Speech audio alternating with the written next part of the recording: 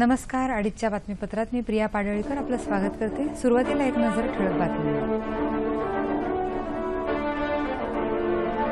राज्याच्या वाट्याचं एकही थेंब पाणी गुजरातला दिलं जाणार नाही. मुख्यमंत्र्यांची विधानसभेत ग्वाही. देशासाठी योगदान देणाऱ्यांचा यथायोग्य सन्मान होणं आवश्यक पंतप्रधान नरेंद्र मोदी. चिक्कीमधील कथित भेसळ प्रकरणी राज्य सरकार आणि पंकजा मुंडे यांना मुंबई उच्च न्यायालयाची नोटीस. एफटीआयच्या संचालकपदी प्रशांत पाठराबे यांची नियुक्ती आज संध्याकाळी पदभार स्वीकारणार. डेव्हिस चषक टेनिस स्पर्धेच्या आशिया ओशनिया गटात भारत न्यूझीलंड दरम्यान एक एक अशी बरोबरी. भारत झिम्बाब्वे दरम्यान पहिला टी ट्वेंटी क्रिकेट सामना आज हरारे इथे.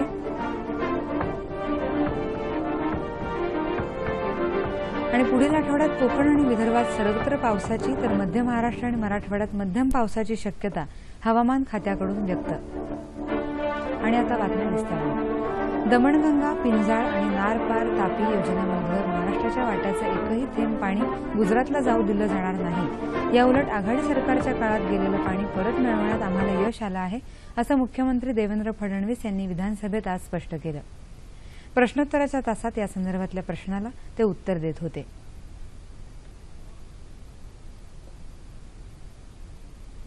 काहीतरी उत्तरं द्यायची आणि सांगायचं एक आम्ही एक थेंब सुद्धा पाणी जाऊ देणार नाही. आणि कागदपत्र मात्र वेगळे दाखवले जातात. यासाठी आता आमच्याकडे दुसरा काही उपाय राहिलेला नाही. आम्ही मुख्यमंत्र्यांना सांगितलंय तिथे सुद्धा की तुम्ही आमची एक मिटिंग परत तुमच्या दालनामध्ये लावून आम्ही काय म्हणतो ते ऐकून घ्या. तुमच्या सर्व अधिकाऱ्यांची कागदपत्र आमच्याकडे आहेत. पण आता जर याला जर न्याय मिळाला नाही तर मग दुर्दैवानं जे आहे हायकोर्टाची पायरी जी आहे आम्हाला चढावी लागेल. तर महाराष्ट्राचं पाणी वाचवण्यासाठी. मराठवाड्यात पूर्णत्वाच्या जवळ आलेले सिंचन प्रकल्प पूर्ण करण्यावर शासनाचा भर असून त्यासाठी निधीची व्यवस्था करण्यात येत असल्याचं जलसंपदा मंत्री गिरीश महाजन यांनी याबाबतच्या प्रश्नांवरच्या उत्तरात सांगितलं. पाणलोट विकास कामांमध्ये गैरव्यवहार होत असल्याप्रकरणी चौकशी सुरू असून त्याचा अहवाल लवकरच अपेक्षित असल्याचं ग्रामविकास मंत्री पंकजा मुंडे यांनी एका प्रश्नाच्या उत्तरात सांगितलं असं आमचे प्रतिनिधी नाना मेश्राम यांनी कळवलं आहे. गर्भपातासाठी लागणाऱ्या औषधांचा ऑनलाईन बाजार थांबवण्यासाठी केंद्र सरकारला कायद्यात बदल करण्याबाबतचा प्रस्ताव पाठवला आहे असं महसूल मंत्री एकनाथ खडसे यांनी स्पष्ट केलं.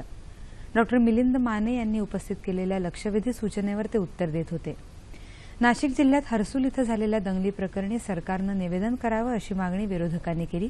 मात्र हे निवेदन सोमवारी करण्याचं सरकारकडून सांगितल्यानंतर विरोधकांनी विधानसभेत सभात्याग केला असं आमचे प्रतिनिधी मिलिंद लिमय यांनी कळवलं आहे. मार्क्सवादी कम्युनिस्ट पक्षाचे जीवा पांडू गावित यांनी हा मुद्दा उपस्थित करून दोषी अधिकाऱ्यांवर कारवाईची मागणी केली. नाशिकचे पालकमंत्री म्हणून गिरीश महाजन यांनी प्रशासनाकडून झालेल्या कारवाईची माहिती दिली. मात्र विरोधकांचं समाधान झालं नाही. ज्येष्ठ सदस्य गणपतराव देशमुख यांनी नाराजी व्यक्त केली. यानंतर सर्व विरोधकांनी सभात्याग केला.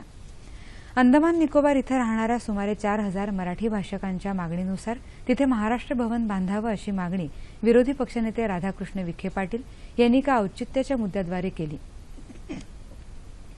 स्वातंत्र्यवीर सावरकरांच्या स्मृतींना अभिवादन करण्यासाठी इतर राज्यांनी बांधलेल्या भवनानुसार आपणही अशी इमारत बांधावी असं विखे पाटील यावेळी म्हणाले.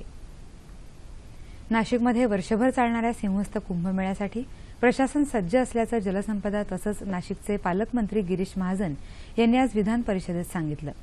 नाशिकमध्ये कुंभमेळा सुरू होऊनही पायाभूत सुविधांची कामं अपूर्ण असल्यासंदर्भात राष्ट्रवादी काँग्रेसचे जयवंत जाधव यांनी विचारलेल्या लक्षवेधी सूचनेला ते उत्तर देत होते.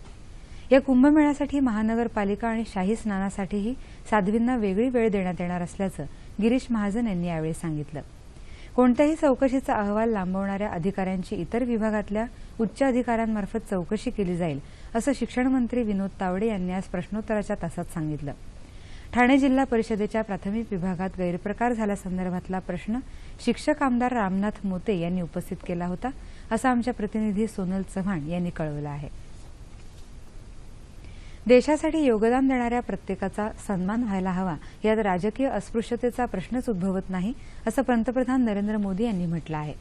स्वातंत्र्य सेनानी आणि जम्मू काश्मीरचे माजी अर्थमंत्री गिरधारीलाल डोगरा यांच्या शंभराव्या जयंती कार्यक्रमानिमित्त ते जम्मू इथं बोलत होते. डोगरा यांनी अनेक पिढ्यांना घडवलं असून मृत्यूनंतरही त्यांचं कार्य स्मरणीय आहे. त्यांच्या जीवनातून बरंच काही शिकण्यासारखं असून त्यांचं कार्य प्रेरणादायी राहिलं आहे अशा शब्दात पंतप्रधानांनी त्यांना आदरांजली वाहिली. पंतप्रधानांनी यावेळी जनतेला ईद निमित्त शुभेच्छा दिल्या. यावेळी केंद्रीय अर्थमंत्री अरुण जेटली जम्मू काश्मीरचे मुख्यमंत्री मुफ्ती मोहम्मद सईद आणि काँग्रेसचे नेते गुलाम नबी आझाद उपस्थित होते.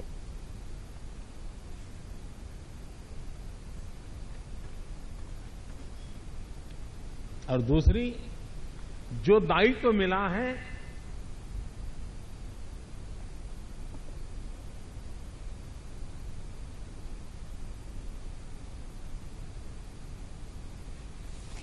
केंद्र सरकारनं देशातल्या ए वन आणि ए श्रेणीतल्या चारशे सात रेल्वे स्थानकांचा स्विस चॅलेंज पद्धतीनं पुनर्विकास करण्याचं ठरवलं आहे.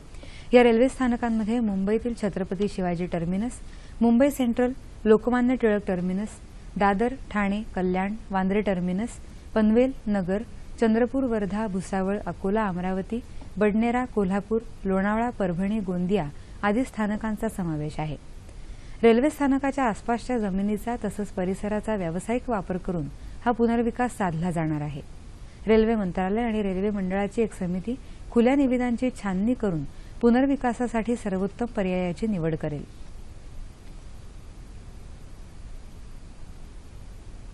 चिक्कीमधील कथित भेसळ प्रकरणी मुंबई उच्च न्यायालयानं काल महाराष्ट्र सरकार आणि महिला आणि बालविकास मंत्री पंकजा मुंडे यांना नोटीस जारी केली. अंगणवाडीतल्या मुलांना चिक्की वाटप करण्यावर बंदी घालावी याबाबत दाखल केलेल्या एका जनहित याचिकेवरील सुनावणी दरम्यान न्यायालयानं ही नोटीस जारी केली. न्यायमूर्ती व्ही एम कानडे यांच्या अध्यक्षतेखालील खंडपीठानं राज्य सरकार आणि पंकजा मुंडे यांच्या व्यतिरिक्त मुख्य सचिव एकात्मिक बालविकास योजनेचे आयुक्त तसंच तीन चिक्की कारखानदारांनाही नोटीस जारी केली आहे. नोटीस प्राप्त झालेल्या सर्वांनी वीस जुलैपर्यंत उत्तर द्यायचं आहे निर्देशही न्यायालयानं दिले आहेत. चिक्की खरेदीत दोनशे सहा कोटी रुपयांचा कथित गैरव्यवहार झाल्याचा आरोप आहे. कोकणातल्या आंबा उत्पादकांसाठी शंभर टक्के कर्जमाफी करून त्यांना नुकसान भरपाई मिळावी या मागणीसाठी रत्नागिरी आणि सिंधुदुर्ग जिल्ह्यातल्या आंबा उत्पादकांनी काल रत्नागिरी इथल्या जिल्हाधिकारी कार्यालयासमोर एक दिवसीय लाक्षणिक उपोषण केलं. सत्तेत येण्यापूर्वी सरकार शेतकऱ्यांच्या बाजूनं होतं मात्र सत्तेत आल्यानंतर शेतकऱ्यांना दिलेल्या आश्वासनांची पूर्तता झाली नाही त्यामुळे शेतकऱ्यांना संपूर्ण कर्जमाफीसाठी आंदोलनाचा मार्ग स्वीकारावा लागला अशी प्रतिक्रिया व्यक्त करत आंबा उत्पादकांनी यावेळी घोषणाबाजी केली. गेल्या पाच वर्षात कोकणातल्या आंबा उत्पादकांना नैसर्गिक आपत्तीचा सामना करावा लागत असून सरकारकडून मिळणारी मदत तुटपुंजी आहे. त्यामुळे मदत देताना ती प्रत्यक्ष कर्जदार आणि शेती करणाऱ्यालाच मिळावी अशी मागणीही यावेळी करण्यात आली.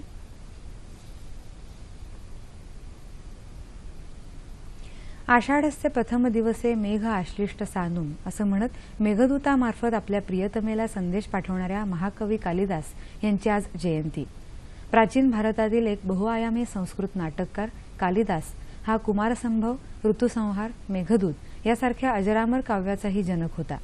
अभिज्ञान शाकुंतलम विक्रमोर्वशीय आणि मालवा ही कालिदासाची अजरामर संस्कृत नाटकं. मानवी अंतःकरणातील सुकोमल भावनेचा आविष्कार म्हणजे मेघदूत. मेघदूतमधील प्रत्येक श्लोक म्हणजे स्वतंत्र निसर्गचित्रच आहे. भारतीय संस्कृतीचा प्रातिनिधिक महाकवी असणाऱ्या कालिदासाची प्रत्येक कलाकृती भाषा सौंदर्याचा एक अप्रतिम नमुना आहे. विख्यात जर्मन कवी गटे यानं स्वर्ग आणि पृथ्वी यांचं मधुर मिलन म्हणजेच कालिदासाची प्रतिभा असं म्हणत अभिज्ञान शाकुंतलमला गौरवलं होतं. चेसी नावाचा रसिक तर शाकुंतलममधली श्लोक वाचून आनंदानं नाचला होता. कालिदासाच्या मेघदूताचं भारतामधील सर्व भाषांमध्येच नव्हे तर सिंहली मंगोली उझबेक इंग्रजी जर्मन आणि फ्रेंच भाषेतही भाषांतर झालं आहे. वसंत बापट आणि शांता शेळके यांसारख्या कवींनीही मेघदूताची भाषांतरं केली आहेत. कालिदासानं आपल्या प्रत्येक ग्रंथामध्ये सौंदर्य आणि निसर्गाचं वर्णन करणाऱ्या अशा अलंकारिक उपमा वापरल्या आहेत की उपमा कालिदासस्य अशा शब्दात अनोख्या उपमांचा गौरव केला जातो. माहिती आणि प्रसारण मंत्रालयाअंतर्गत कार्यकर्ता पत्रसूचना कार्यालयाचे संचालक प्रशांत पाठराबे यांची पुणे एफटीआयआय अर्थात Film and Television Institute of इंडियाच्या संचालकपदी नियुक्ती झाली आहे. पाठराबे भारतीय माहिती सेवेचे वरिष्ठ अधिकारी असून त्यांनी यापूर्वी दूरदर्शन मुंबई आकाशवाणी मुंबई राष्ट्रीय चित्रपट संग्रहालय संरक्षण जनसंपर्क अशा विविध ठिकाणी कामं केली आहेत. पाठराबे आज संध्याकाळी डी जे नारायण यांच्याकडून पदाची सूत्र स्वीकारतील. नारायण हे आज एफटीआयच्या संचालक पदावरून निवृत्त होत आहेत.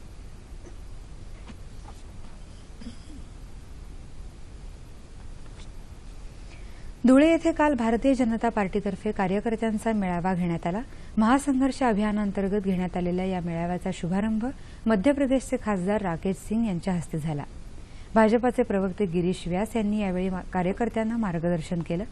भाजपा अभियानांतर्गत देशात अकरा कोटी सदस्य झाल्याचं खासदार डॉक्टर हिना गावित यांनी सांगितलं. महासंघर्ष अभियानातल्या प्रत्येक सदस्यापर्यंत पोहोचण्याचं भाजपाचं लक्ष असल्याचं खासदार राकेश सिंग यांनी स्पष्ट केलं.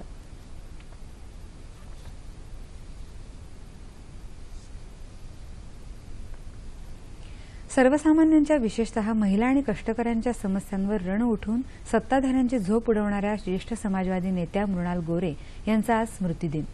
निस्वार्थी बुद्धीनं केवळ समाजासाठी आयुष्य वेचणाऱ्या झुंजार वृत्तीच्या मृणालताई वैचारिक निष्ठांवर ठाम होत्या. अंगणवाडी सेविकांपासून कचरा वेचणाऱ्या उपेक्षितांच्या प्रश्नांपर्यंत त्या सदैव झगडत राहिल्या. गोरेगाव ग्रामपंचायतीच्या सदस्य ते नगरसेवक आमदार विरोधी पक्षनेत्या आणि खासदार अशा पदांवरून त्यांनी सामान्य जनतेचं केलेलं प्रतिनिधित्व नेहमीच लक्षणीय ठरलं. महानगरपालिकेत जाण्यापूर्वी पाणीपुरवठ्यासाठी दिलेल्या लढ्यामुळे सारा देश त्यांना पाणीवाली बाई म्हणून ओळखू लागला होता. जनतेची ताकद उभी करून सरकारवर दबाव आणण्यासाठी त्यांनी लाटणं मोर्चा थाळीवादन घेराव यासारखी अनोखी शस्त्रही वापरली. नागरी निवारा परिषदेच्या माध्यमातून सर्वसामान्य नागरिकांना घरं उपलब्ध करून देण्याचं मोठं कार्य मृणालताईंनी केलं. सर्वसामान्यांची खऱ्या अर्थानं नाळ जुळलेली ही पाणीवाली बाई त्यामुळे कायम स्मरणात राहते. जबर इच्छाशक्ती आणि जिद्दीच्या जोरावर आंतरराष्ट्रीय पॉवर लिफ्टिंग स्पर्धेत स्थान मिळवलं आहे. अवधूत घोरपडे या मतिमंद मुलानं. फटकाऱ्यानं त्याला जन्मतःच मतिबंद बनवलं. त्याचे मातापिता आणि शिक्षक त्याच्यातली क्षमता ओळखून त्याच्यामागे खंबीरपणे उभे राहिले. अतिव इच्छाशक्ती आणि चिकाटीच्या बळावर त्याची अमेरिकेतील लॉस एंजलिस इथं होणाऱ्या आंतरराष्ट्रीय पॉवर लिफ्टिंग स्पर्धेसाठी निवड झाली. या जिगरबाज खेळाडूचं नाव आहे अवधूत निवास खोरपडे. कागल तालुक्यातील बिद्री गावात सर्वसामान्य कुटुंबात अवधूतचा जन्म झाला. अवधूत मतिमंद असल्याचं लक्षात येऊनही त्याच्या आई वडिलांनी धीर सोडला नाही. उलट त्याच्या क्षमता जाणून तो क्रीडा क्षेत्रात यश मिळवेल याची त्यांना खात्री वाटली. विकास पाटील आणि गणेश इंगळे या प्रशिक्षकांनी त्याला घडवलं. अल्पावधीत या क्षेत्रात चमकदार कामगिरी करत अवधूतनं पंजाब इथं झालेल्या राष्ट्रीय स्तरावरील स्पर्धेत तीन सुवर्ण पदकं पटकावली. या कामगिरीमुळे पंचवीस जुलै ते दोन ऑगस्ट दरम्यान अमेरिकेत होणाऱ्या आंतरराष्ट्रीय स्पर्धेसाठी अवधूतची निवड झाली. या स्पर्धेत एकशे सत्तर देश सहभागी होणार आहेत. हा ग्रामीण भागातील विद्यार्थी आहे. तेव्हा यांच्यासाठी जी मतिमंद मुलं असतात यांच्यासाठी अशा प्रकारची खेळाची साधनं त्या त्या तालुक्यात उपलब्ध करून दिल्यानंतर त्या मुलांना त्या ठिकाणी त्यांची क्रीडा शिक्षकांना आणि त्यांचा व्यायाम घेण्यासाठी किंवा या खेळातील नैपुण्य प्राप्त करण्यासाठी त्यांना सुविधा प्राप्त होतील. त्याचबरोबर मतिमंदांना नोकरीमध्ये आरक्षण नाही. त्यामुळे या मुलांना अंध अपंग अस्थिभंग यांना नोकरीत आरक्षण आहे. पण ह्या मुलांना नोकरीत आरक्षण नसल्यामुळं याचाही सरकारने विचार करावा. अशा मुलांच्या ज्या ॲबिलिटीज आहेत किंवा व्यंगता आहे याच्यातून त्यांच्या इतर मुलांच्या पालकांनी यातून काहीतरी अवगत घेऊन मुलांच्यासाठी प्रोत्साहित करून किमान शालेय राहिलं किमान फिजिकली किंवा अशा पद्धतीच्या शारीरिक स्पर्धेमध्ये भाग घेऊन मुलांचा मोटिवेट करावं. मतिमंद मुलगा आहे म्हणून नशिबाला दोष न देता अवधूतच्या आई वडिलांनी एक स्वप्न पाहिलं. आणि अवधूतनंही त्यांचा विश्वास सार्थ ठरवला. हे सगळ्यांसाठीच निश्चितच प्रेरणादायी आहे. सामाजिक समता आणि एकात्मता राखल्याशिवाय समाजाचा विकास होणार नाही यासाठी सर्वांनी जाती धर्म विसरून काम करावं असं आवाहन डॉक्टर बाबासाहेब आंबेडकर प्रशिक्षण संस्थेचे महासंचालक डी आर परिहार यांनी केलं. पुण्यातल्या माहिती आणि जनसंपर्क महासंचालनालयाच्या विभागीय माहिती कार्यालयामार्फत पुणे आणि कोल्हापूर विभागातल्या अधिकारी आणि कर्मचाऱ्यांसाठी आयोजित केलेल्या दोन दिवसीय लेखापरीक्षण कार्यशाळेचा समारोप काल झाला त्यावेळी ते बोलत होते. जगाशी स्पर्धा करण्यासाठी सर्वात मोठा अडथळा असलेल्या जातीयवादाचं निर्मूलन करणं आवश्यक आहे. जातीयवाद दूर करण्यासाठी धार्मिक सहिष्णुता आणि सांप्रदायिक सद्भावना बाळगली पाहिजे असं त्यांनी यावेळी सांगितलं.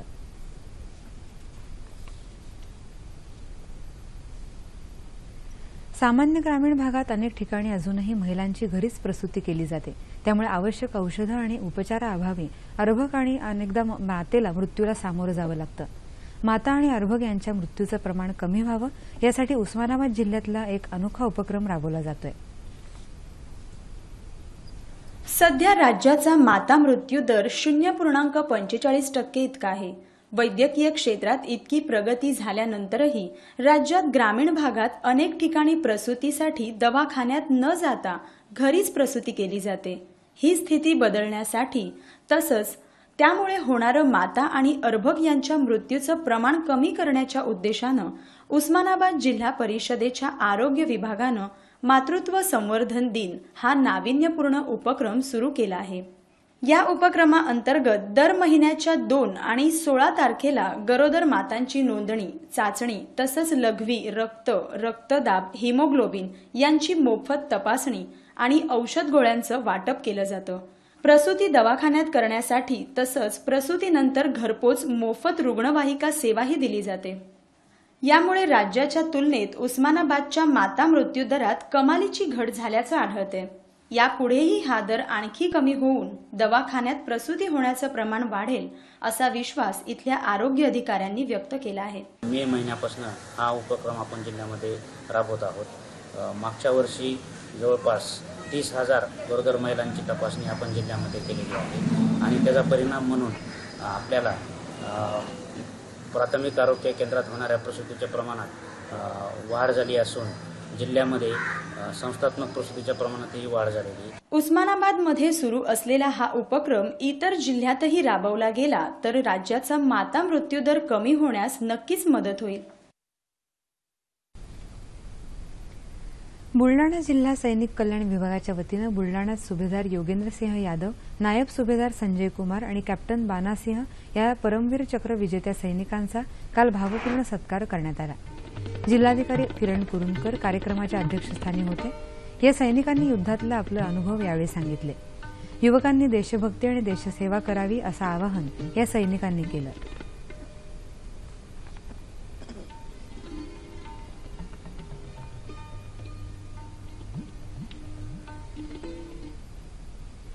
गेल्या काही वर्षांमध्ये अवकाळी पाऊस आणि वातावरणात अचानक होणारे बदल याचा परिणाम शेती आणि बागायतीवर होऊ लागला आहे.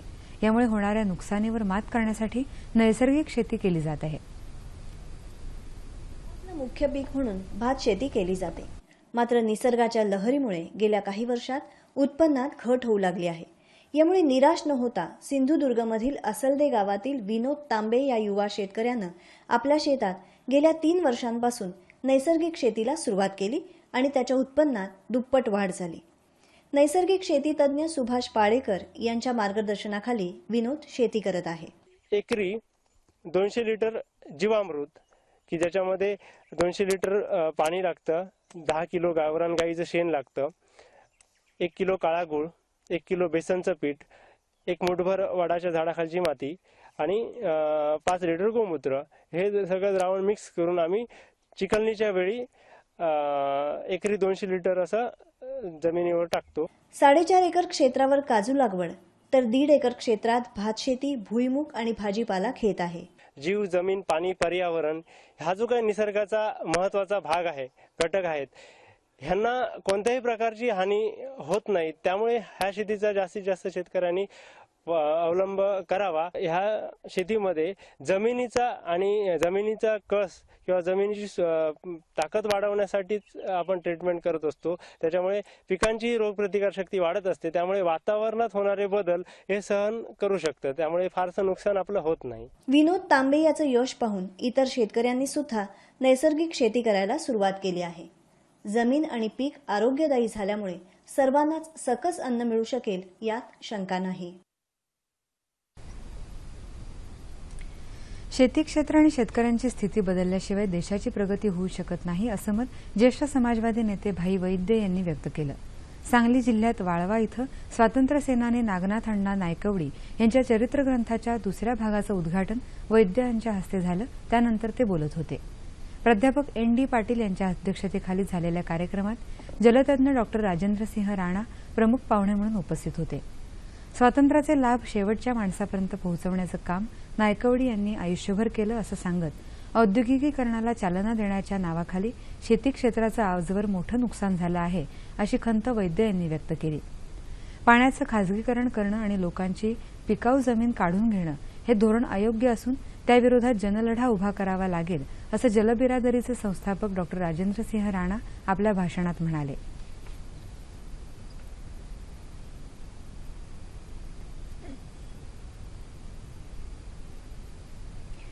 संतश्रेष्ठ ज्ञानेश्वर माऊलीच्या पालखीनं काल सातारा जिल्ह्यात प्रवेश केला. नीरा नदीत माऊलींच्या पादुकांना ज्ञानेश्वर माऊली पालखी सोहळ्याचे मालक आणि विश्वस्तांच्या वतीनं स्नान घालण्यात आलं.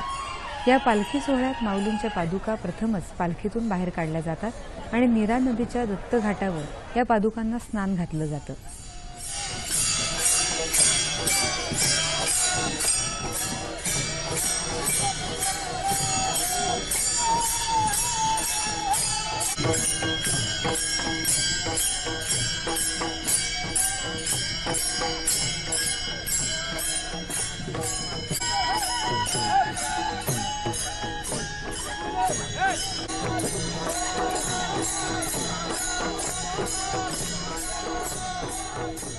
पावसानं दडी मारल्यानं नीरा नदीच्या पाण्याची पातळी खालावली होती. मात्र पालखी सोहळ्यासाठी जिल्हा प्रशासनाच्या वतीनं वीर धरणातून पाणी सोडण्यात आलं आहे. यानंतर पालखी सातारा जिल्ह्यातल्या लोणंद इथं विसावणार आहे.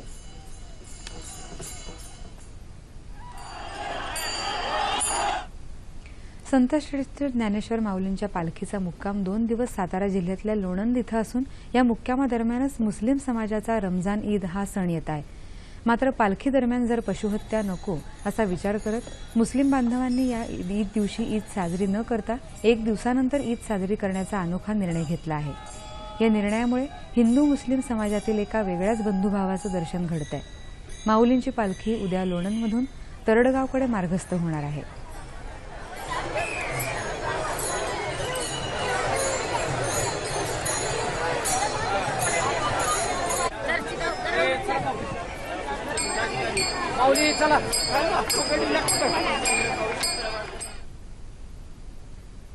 पालखी सोहळ्यातील अनेक वारकरी मुस्लिम बांधवांच्या घरी मुक्कामाला असतात. अनेक मुस्लिम बांधव वारकऱ्यांना अन्नदानही करतात.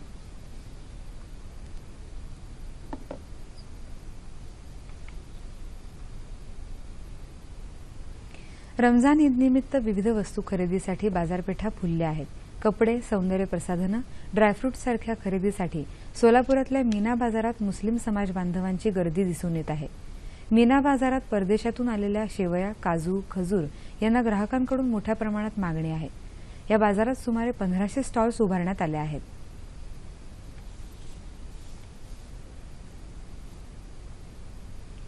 डेव्हिस चषक टेनिस स्पर्धेच्या आशिया ओशनिया गटातील भारत न्यूझीलंड दरम्यान न्यूझीलंडमधल्या ख्राईस्ट चर्च इथं आजपासून सुरू झालेल्या लढतीत आतापर्यंत एक एक अशी बरोबरी झाली आहे. सलामीच्या लढतीत न्यूझीलंडच्या मायकल विनसनं पाच सेटपर्यंत रंगलेल्या सामन्यात सोमदेव देवबर्मनवर मात केली. पहिले दोन सेट गमावल्यानंतरही व्हिनसनं जिगरबाज खेळी करत सोमदेवचा चार सहा चार सहा सहा तीन सहा तीन सहा एक असा पराभव केला आणि न्यूझीलंडला आघाडी मिळवून दिली. मात्र दुसऱ्या एकेरी सामन्यात भारताच्या युकी भांबरीनं जेम्स स्टॅटहॅमवर विजय मिळवत भारताला बरोबरी साधून दिली. भांबरीनं स्टॅटहॅमचा सहा दोन सहा एक सहा तीन असा पराभव केला. बातमी क्रिकेटची. हरारे इथं आज भारत झिम्बाब्वे दरम्यान पहिला टी ट्वेंटी सामना रंगणार आहे. भारतीय वेळेनुसार आज दुपारी साडेचार वाजता झिम्बाब्वे विरुद्ध एकदिवसीय क्रिकेट सामन्याची मालिका खिशात घातल्यानंतर आता दोन्ही टी ट्वेंटी सामने जिंकून दौऱ्याची यशस्वी सांगता करण्यासाठी अजिंक्य रहाणेच्या नेतृत्वाखालील भारतीय संघ उत्सुक असेल. तर एकदिवसीय मालिका हरल्यानंतर टी ट्वेंटी सामन्यात चांगली कामगिरी करण्याचा झिम्बाब्वे संघ प्रयत्न करेल. बातमी हवामानाची. देशातील मोठ्या भागात एक जून ते पंधरा जुलै दरम्यान सर्वसामान्य ते अतिरिक्त पाऊस झाल्याचं हवामान विभागानं स्पष्ट केलं आहे. एक जून ते पंधरा जुलै दरम्यान देशात सरासरी दोनशे ऐंशी मिलीमीटर पावसाची नोंद झाली असून तीनशे एकाहत्तर जिल्ह्यात सर्वसामान्य ते अतिरिक्त पाऊस झाला आहे. तर दोनशे अडतीस जिल्ह्यात कमी अथवा तुरळक पावसाची नोंद झाल्याचं हवामान विभागानं म्हटलं आहे. जुलै आणि ऑगस्ट महिन्यात अपुरा पाऊस होईल असा अंदाज हवामान विभागानं याआधीच व्यक्त केला आहे. अमरनाथ यात्रेच्या मार्गावर सोनमर्ग इथं काल झालेल्या ढगफुटीत पंधरा वर्षांची एक मुलगी मृत्युमुखी पडली. अमरनाथ यात्रा मार्गावरील शेषनाग इथं एक पूल खचला आहे. महिनाभरापासून दडी मारलेल्या पावसाचं सातारा जिल्ह्याच्या पश्चिम भागात आगमन झालं. त्यामुळे शेतकऱ्यांच्या आशा पुन्हा एकदा पल्लवित झाल्या आहेत. सातारा कराड वाई पाटण आणि महाबळेश्वर इथे पावसाला सुरुवात झाली असून आज सकाळी सात वाजेपर्यंत महाबळेश्वर इथं चाळीस कोयनानगर इथं पस्तीस तर पठारकुंज इथं साठ मिलीमीटर पावसाची नोंद झाली आहे.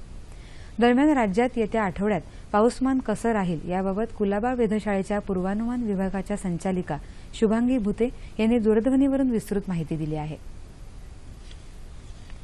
महाराष्ट्रामध्ये फक्त गोंदियामध्ये सरासरीपेक्षा बरोबर पाऊस पडलेला आहे. भंडाऱ्यामध्ये तो कमी पडलेला आहे आणि जिथं महाराष्ट्रामध्ये पाऊसच झालेले नाही असे सात सहा जिल्हे आहेत जसे धुळे औरंगाबाद जालना बुलढाणा अकोला आणि वाशिम. या आठवड्यामध्ये इथं कुठंही पाऊस झालेला नाही आणि याच्या सरासरीपेक्षा ऐंशी पर्सेंट तो कमी पाऊस झालेला आहे.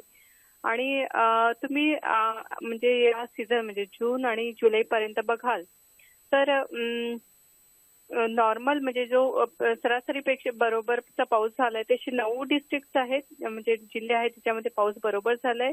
कमी पावसाच्या म्हणजे परभणी आणि मुंबई सिटी आहे ज्याच्यामध्ये पाऊस minus sixty two minus ninety nine पर्सेंटच्या दरम्यान पडलाय. आणि ज्याच्यामध्ये पाऊसच खूपच कमी आहे. अख्खं महाराष्ट्र आहे. कोकणामध्ये सर्वदूर पाऊस पडेल पुढच्या आठवड्यामध्ये. मध्य महाराष्ट्रामध्ये एक ते दोन दिवस आयसोलेटेड म्हणजे कुठे कुठे पाऊस पडेल आणि दोन दिवस पुन्हा थोडासा पावसाचा जोर वाढेल. म्हणजे तो थोडासा सर्वत्र पडण्याची शक्यता आणि मग पुन्हा एकवीस तारखेनंतर पुन्हा त्याची कमी हो शक्यता कमी होण्याची शक्यता आहे. मराठवाड्यामध्ये बघाल तर एक ते दोन दिवस कुठे कुठे तुरळक पावसाच्या सरी पडतील.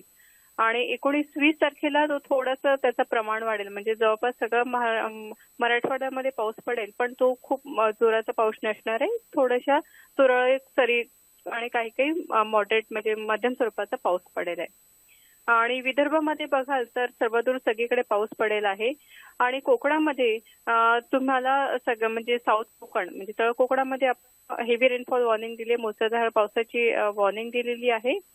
की असे रत्नागिरी सिंधुदुर्ग या जिल्ह्यांमध्ये मुसळधार पाऊस पडण्याची शक्यता आहे. गेल्या पुढच्या आठवड्यामध्ये म्हणजे येणाऱ्या सगळ्या चार पाच दिवसामध्ये. आणि मध्य महाराष्ट्र आणि मराठवाड्यामध्ये बघाल तर थोडंसं पावसाचं प्रमाण वाढेल पण तो पाऊस असा समाधानकारक राहील अशी काही शाश्वती नाही. पण पाऊस सगळीकडे राहील. माहितीबद्दल धन्यवाद मॅडम. शेवटी ठळक बातम्या पुन्हा एकदा. राज्याच्या वाट्याचं एकही थेंब पाणी गुजरातला दिलं जाणार नाही. मुख्यमंत्र्यांची विधानसभेत ग्वाही. देशासाठी योगदान देणाऱ्यांचा यथायोग्य सन्मान होणं आवश्यक पंतप्रधान नरेंद्र मोदी. चिक्कीमधील कथित भेसळ प्रकरणी राज्य सरकार आणि पंकजा मुंडे यांना मुंबई उच्च न्यायालयाची नोटीस. एफटीआयआयच्या संचालकपदी प्रशांत पाठराबे यांची नियुक्ती आज संध्याकाळी पदभार स्वीकारणार. डेव्हिस चषक टेनिस स्पर्धेच्या आशिया ओशनिया गटात भारत न्यूझीलंड दरम्यान एक एक अशी बरोबरी. भारत झिम्बाब्वे दरम्यान पहिला टी ट्वेंटी क्रिकेट सामना आज हरारे इथे.